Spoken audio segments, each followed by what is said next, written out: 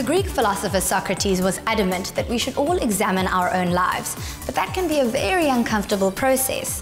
One way of making the truth more palatable is to present it with humour, and this is what acclaimed Indian comedian Vir Das has set out to do in The Battle of the Sexes. It's all about the eternal battle between men and women, and I reported to the front line in Jozi.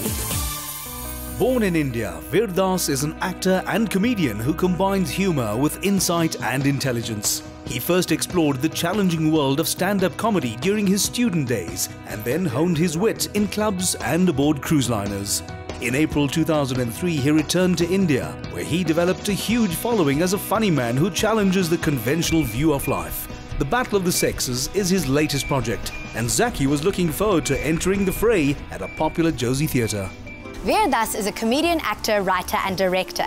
He spotted the comic potential between men and women, and Battle of the Sexes is the result. I'm about to go behind enemy lines, so wish me luck. Hi, my name is Vir Das. You might remember me from uh, this. Richest woman in the To world. date, Vir has some 35 plays, 8 TV shows, 2 movies, 6 comedy specials, and over 100 stand up comedy shows to his credit. 50% of L'Oreal. Gauteng audiences flock to experience the humour of the man variously described as one of Delhi's top 10 dream men and India's answer to Jay Leno. The first language in the world was invented by women. It was called Motherese. It was a language of gibberish between a woman and an infant. Because women had now lost all of their body hair outside of Punjab. You could be a Nobel Prize winner. You could be a rocket scientist. If there's a baby in the room. Vir, you're equally comfortable in film, television, and on stage. Why did you decide to make Battle of the Sexes a stage production? Because a movie plays once, and if it bombs on the weekend, it's done. But with Battle of the Sexes, I have multiple weekends to make my money back. The concept of the show is really simple. It's that uh, men and women are perpetually not understanding each other, annoyed at each other, frustrated with each other. Uh, and if you say something, you're going to end your relationship. So I am your spokesperson. They Bring your respective other or your single self, and you won't get into trouble. That's the concept of the show.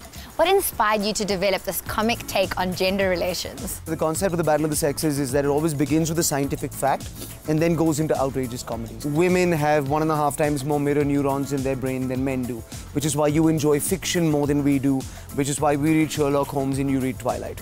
It always begins with that kind of a scientific fact. Now, the minute we invented words and we invented nouns, we had to genderize nouns. Certain things became female, certain things became male, all right? Men got basically nothing. Women got cars, ships, guitars, and natural disasters, all female. You make the point that the show is based on science. Why did you take this approach? When you begin it with a fact, you can stretch it that much more and get that much crazier. But if you just said it straight, then uh, I feel like you limit yourself a little. Did you research and develop the show until you felt it was complete, or is it still a work in progress? I don't really get to test out material uh, in India because it winds up on YouTube or it winds up on Twitter.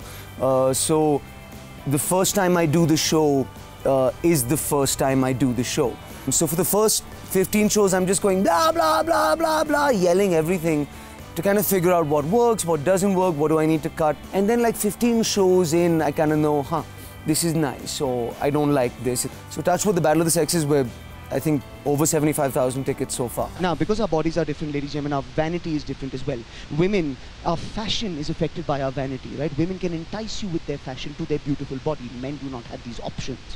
Women have the option of what I like to call teasy clothing. You know, clothing that shows you just what you need to know to realize that there is a beautiful body underneath. You know, just give you a glimpse of cleavage, not the whole thing. Just.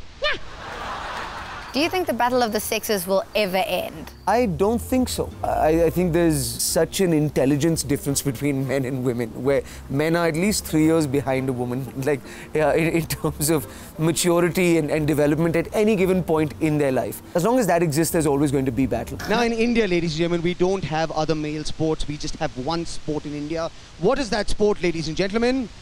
Cricket. If you make, if you watch cricket, make some noise right now. If you watch cricket, make some noise. Any Americans in the audience? I mean, people who don't know what cricket is. Does anybody not know what cricket is? All right, it's like baseball with talent. Ladies and gentlemen, my name is Vir Das. Are you having a good time tonight? Thank you for being here, Johannesburg. Give yourselves a round of applause.